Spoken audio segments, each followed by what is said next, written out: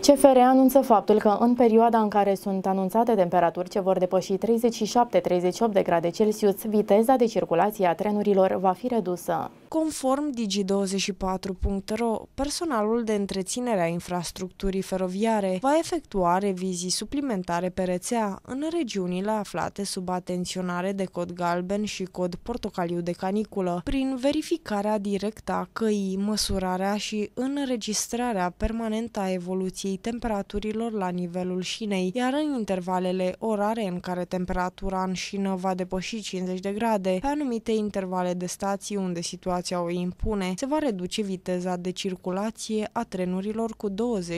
de km pe oră față de viteza normală, astfel încât traficul feroviar să se desfășoare în depline condiții de siguranță, potrivit unui comunicat al companiei citat de Agerpress. De asemenea, CFR SA va aviza permanent operatorii de transport feroviar de călătorii și de marfă când se impune reducerea vitezei de circulație și pe ce intervale de stații se va lua această măsură, astfel încât operatorii de transport feroviar de călătorii să informeze pasagerii din trenurile aflate deja în circulație sau care urmează să circule în ziua respectivă despre condițiile de trafic. CFR SA recomandă publicului călător ca înainte de efectuarea călătoriei să solicite informații informații despre orele de sosire și de plecare a trenurilor din stațiile CFR la casele de bilete ale operatorului de transport de la care a achiziționat sau dorește să achiziționeze bilet. Reprezentanții CFR precizează că aceste măsuri sunt aplicate de toate companiile manageri de infrastructură și respectă normele de siguranță feroviară pentru astfel de situații speciale, relatează Digi24.ro.